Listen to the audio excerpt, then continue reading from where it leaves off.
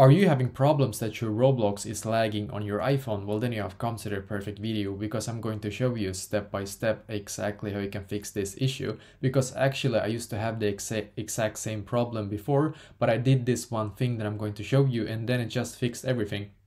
Basically, as you can see, I'm currently on my Roblox app right here, but we need to actually close our Roblox app and instead you're going to go into your app store. So search for app store in here or just go directly to the app basically. And now you should be taken to this page right here. Now I'm just going to search for Roblox in here.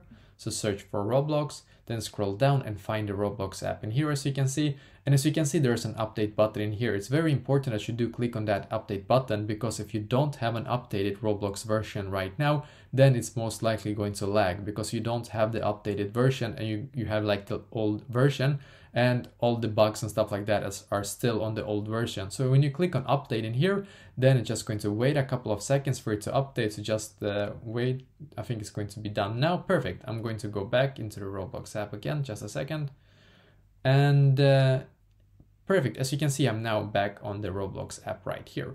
So now what you can also do if you want to is to just put your phone into like airplane mode and then put it back on off again basically and then try again because that also resets your network and then hopefully after that everything will be working fine on your Roblox. So let me know in the comments below. Maybe if you have any questions and I will try to answer to as many as I can. And also I wish you the best day.